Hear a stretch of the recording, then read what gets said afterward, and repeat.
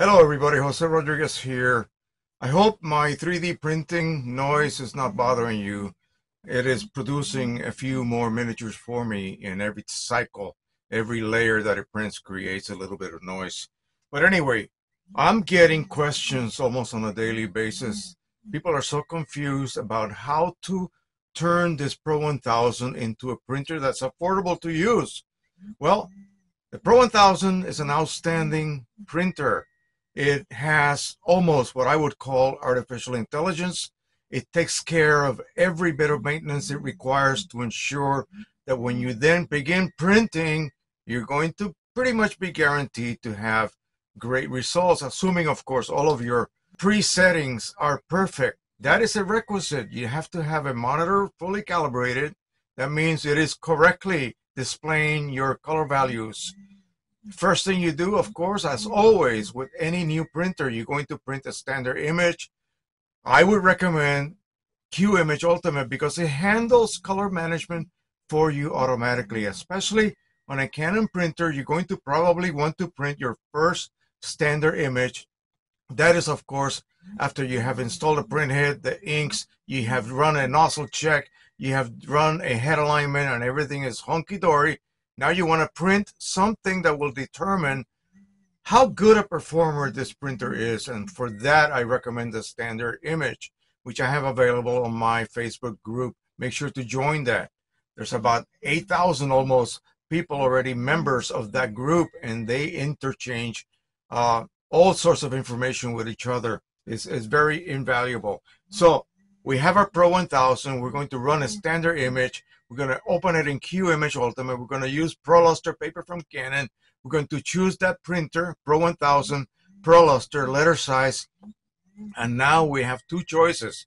Either we let the driver control color, and for that, what it's going to do is going to match it to the proper Canon ProLuster ICC profile. Or you can tell QImage to control color, and it's going to turn off color management automatically in the driver. And that is something you absolutely need to have. If you're going to use QImage or Photoshop as the one controlling color through an ICC profile, be it the OEM ProLuster profile or some other profile, say you're using a similar but different type of paper, you're going to have to make sure that your driver is not double profiling. QImage Ultimate will handle that for you automatically.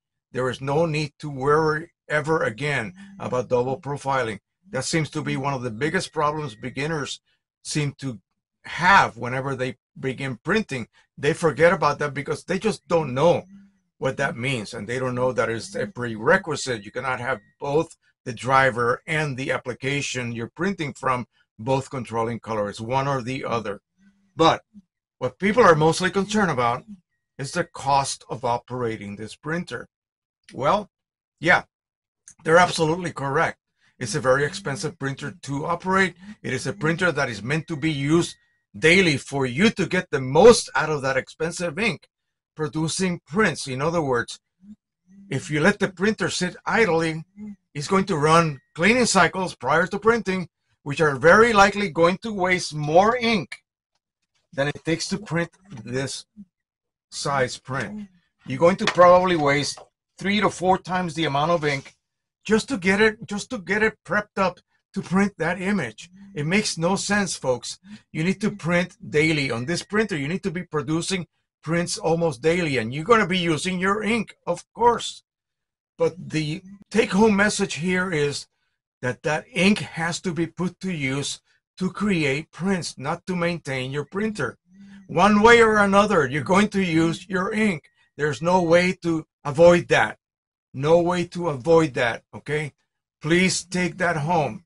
There is no way to avoid that. This is not an Epson printer you can neglect for a couple of weeks and then come back and it may even run a cleaning cycle for you or probably not. And if you're lucky, it'll print a perfect result. That's Epson for you. You can choose one over the other for just that one criteria. This printer, however, is not going to allow you to do that. It's going to make sure your printhead is free of any clogs before it begins to print. So as soon as you press that print button, it's going to go through agitation cycle to make sure your pigment is agitated. It's going to do a nozzle check internally, nozzle by nozzle. That's going to take minutes. And then finally, if it passes the cleaning cycle, it's going to begin to print and your result will be perfect. Okay? But I better be printing, say 10, 15 prints a day so that I don't repeat that over and over and over. And so the ink that I use for those 10 to 15 prints a day is solely for the creation of those 10 to 15 prints and not to fill my maintenance cartridge, which is what would normally be happening if you only print once a week. Okay? Now, you want to get away from the $60 per cartridge cost. So you have several options. Of course, if you are made of money, then the option, or you are basically selling lots of prints, whether it is through a business or whether it is through your own photography business, you're going to want to use OEM. There's no way around that. So 60 bucks every time you change a cartridge. Now, I decided that's too much. I am not printing for money. I am printing to create videos for you guys to enjoy and hopefully learn something from. So I need to reduce my operating costs. Hey, Precision Colors, when are you going to come up with an ink set for the Pro 1000? Well, that took a year. Okay, that took a year. Finally, we decided let's go ahead and try to refill this cartridge. There is no hole anywhere, and there's nothing inside that prevents me from injecting ink, pressurized ink, and then create a vacuum, pressurize ink again, create another vacuum, you'll be constantly pulling back and forth on that big 100 ml syringe. You need a special tip to be able to bypass that poppet valve. But once you do that, you can just push in some ink, pull back, create a vacuum, mm-hmm. push in some ink. And if you started when you were empty, then you will be able to inject fully the 80 ml that you require to get a full mm-hmm. load of ink. Mm-hmm. Now, what about a chip? Well, chips became available pretty much instantly from China, and they did not work. They worked maybe once, or they just did not work at all, but they were not auto or semi permanent or permanent chips as they were being sold to be. No, they did not work. So only single use chips was the availability back then. So, yeah, your chip just declared the cartridge empty. These cartridges actually do go empty when the chip says I'm empty. Isn't that something? You're not throwing away ink when you throw away one of these cartridges with a dead chip. But why throw it away? You can refill it. You can pop this white cap off, insert a chip in the compartment. A single use chip costs you about $13. Put about $15 worth of ink in there. Pop the cap back on it, insert it back into your printer, and you're good to go. You spent about maybe $30 to refill each cartridge. That's better than 60. So now you're continuing to print at half the cost. And of course, you're helping the environment by not throwing away these cartridges that'll be here another two or three millennia. Okay? They're not going to disappear. So another option had to be made available. And we decided, wait a minute, wouldn't it be easier to simply drill a hole here? Oh, yeah. 5 32nds of an inch, use a regular Canon plug that we use for some of the other Canon printers, the smaller ones that have individual cartridges that ride on the printhead assembly. Yeah, 5 32nds of an inch hole, put it in the upper left or the upper right corner. That's the thickest part of this little enclosure. And there's nothing in there, it's just space. It just holds ink. So drill that hole, clean it up, put a plug in, make sure it fits tight. And now you can just remove the plug with a syringe full of ink, inject the ink, put the plug back on it. Of course, you're going to change the chip and put it back in your printer. Oh, isn't that easier? Of course it is. Well, we want it even better. We were getting tired of buying these chips.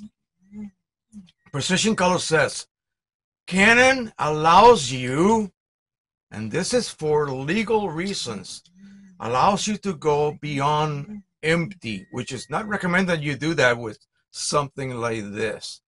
So can we do as we could do with maybe some of the other Canon printers, disable the chip. That means you disable the chip so that it no longer can display ink levels. It is recognized as Chroma Optimizer, but I see nothing as far as levels go, even though I have a tank full of ink. Okay, it will not show anything. At that point, it is solely used for identification of the color of that particular cartridge. Well, you could do that, but there is a process. There is a process. If your chip has become empty, it cannot be disabled. Okay, you cannot. You have to, from the very beginning that you begin to use this printer, you have to look ahead that at some point, I think I'm going to disable my chips. Well, don't wait until it's empty because it's too late. If you have a cartridge whose chip has not reached empty, but say has reached low, maybe that'll work. The best condition is before it reaches low. So you make that decision, okay? Make that decision now, not afterwards when it's too late. You'll have to buy a new cartridge and start again. But say you have your 12 cartridges and they're all about 50%. Drill those holes, get them prepped, put the plugs on it. Order your inks from Precision Colors. You can order either full OEM or the mix or the hybrid set, which contains four OEM colors. That is Chroma Optimizer, yellow, red, and blue, and the rest are third party. Those four colors and the clear coat could not be matched by anything available in US labs. So they had to resort to using OEM. And he has a source for that, so don't worry. There are always going to be available OEM inks. You could go full OEM, it'll cost you twice as much. So for about 45 bucks, you're going to go ahead and not only get that chip, maybe a little bit higher than that, get that chip and also fill with OEM. Well, that's still better than $60. But we want to not use the chips any longer. We don't want to have to buy a chip every single time. So here is the process. Please listen carefully. You have to follow this. Otherwise, it's not going to work. I don't care how many extra cartridges you have obtained from whomever. They better not be red Xed. If you put them in your printer and you get a red X, get rid of that cartridge. Get rid of the chip. You can save the cartridge, drill it, and prep it for someone else to put a chip in it. But don't throw it away. It's it's, it's bad. Okay, it really is. It really is bad. So if you have a warning, a yellow warning, that's the yellow exclamation point. You're okay. Drill it, top it off immediately. If it's partially full, and how do you know that? You put it on a scale anything above 32 grams. To make it easy, just put the cartridge, whatever it weighs above 32 grams. That's how much ink is left. A gram just about equals one ml of ink. So figure that out. As long as it's above 32 grams, you still have ink in your cartridge. Initially, you need to do the math and figure out how much ink would it take to reach 80 ml of ink. If I am at 42 grams and 32 grams is empty, I have 10 ml. So I need to add 70 ml of ink. Okay? That's how simple it is. And of course, do the math. It's going to be different depending on which cartridge. Or just add enough ink to sort of bring it above like maybe 112 is fully loaded, maybe 80, 90 uh, grams of total weight just as long as you have enough ink that will be above the so-called low warning. Low warning kicks in when you have about 20 ml of ink inside the cartridge left. So here's the catch. You have to make sure you have ink in the cartridge at all times. And you cannot be at red X. Red X, that's it. That cartridge is actually physically empty. Okay? Remove it, start all over again. Sorry or acquire some other empty cartridge as hopefully one of those will be above empty. Anything else that's above empty, top it off. Okay, top it right off. You'll be good. If it was already low, or before low, eventually it will reach low because the printer internally, it is actually measuring every milliliter of ink that has passed through it since you originally installed a particular cartridge. It knows exactly how much ink has passed through it. So it's computing. It's computing these conditions as you print. So the low condition, because it has already measured so much ink has passed through, the cartridge must be low. It's not really looking inside the cartridge. It has no clue what you have done. You've topped it off. So it's going to then declare low and you print. And at some point, it's going to say, wait a minute, I knew how much ink I should have had when I declared the cartridge low. But for some reason, it just keeps refilling my internal reservoir. Something is really weird. I'm going to allow you to continue to print. That's what's happening. And you're going to print, print, print, and you're going to be worried. Don't worry. Just let it. Let that low warning stay there as long as it wants to. Just make sure you keep refilling your cartridges. That's the key. And at some point, it's going to throw its hands up in the air. It's going to go, what the heck is going on here? I've used twice as much ink as I should have been able to use. That cartridge should have been empty, but it's not. It's not because you have been a good lad and a good lass and have continued refilling those cartridges. It'll throw an error on your screen. Right here, you will see 1753 error. Press the second button below the power button. Five seconds. You will see the words processing. Once that finishes processing, that chip is now disabled. Now that chip's internal code, in this case, Chroma Optimizer, that Chroma Optimizer chip's individual code has been recorded in the printer's memory.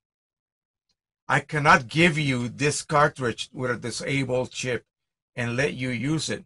Your printer has never seen this particular chip, so it's not going to see it as disabled. You may be able to disable it. It may give you a 1753 error. Who knows? But it may not. It may not. So when you disable your chips, they have to be your own cartridges, okay? Your own cartridges and of course your own chips. That's basically it. At this point, once you disable that chip, then you need to keep track of your ink usage. And the only way to do that is to weigh your cartridges. Remember, 32 is empty, 112 is full. Anything in between, that means you have that much ink. Do the math. Subtract that weight by 32, and you get a balance of how much ink is left in the cartridge. I still didn't want to do that. So we needed to have some other option to tell us, to warn us, hey, you are running out of ink in one cartridge. You are low. And you have seen those before in my previous videos. Now, here's what you do. Once you install those sensors, you have a series of lights. You have two boards. Each board corresponds to six channels. The first six on the left and the second six on the right side. When you have a green go light, that means that cartridge is above low warning. When that green go light goes out and the corresponding white light underneath it is actually in line with it, goes on, that means that cartridge should now be filled. And that is all you have to worry about. Now, all you have to do now is maintain your cartridges above that low level, which is about 20 ml of ink left in the cartridge. And wait for a light to come on. The green light will go off, the white light will come on. And it sort of starts to blink when it gets to that, that margin of I'm almost low, but not quite. You will get a blinky uh, change, green and then white and then green and then white. And eventually, as you print a little bit longer, it will go fully white. Take the door fuller out. The printer will go into change mode. And then you remove that cartridge and add 60 ml of ink. That'll get you up to 80 or just under 80 and you'll be good to go. Put that fuller back in. Of course, you're going to insert the cartridge back in and then insert the fuller back on the hinge and you will then go back into printing mode and you'll be good to go. At that point, you can continue printing as if nothing happened. The cartridge now, the sensor for the cartridge will be green and you'll be good to go. That is all there is to it. The sensor is detecting density inside the cartridge. And when it sees a certain drop in density, it declares itself as low. Now, originally, when the sensors came from China, they were all at slightly different calibration levels, and PC did not know that. And so from now on, when you buy a sensor set, they will all be pre-calibrated for you. You do not have to do that. I had to do that because I got the early version of the sensors. Okay, so be aware of that. Don't spend time trying to calibrate them. They're already pre-calibrated to give you the low warning right about when you have 20 ml of ink left. All right, that is it. This is wonderful now. This makes my life so easy. Nothing to worry about from now on. So again, I hope this made it more crystal clear, if you will. There's always going to be questions. I am absolutely sure I will get more questions regarding this because not everybody's going to watch this video. That's simply the way it goes. All right, so thank you so much. Don't forget to subscribe, share, and like. And until the next time, as always, happy printing, everybody, and bye-bye.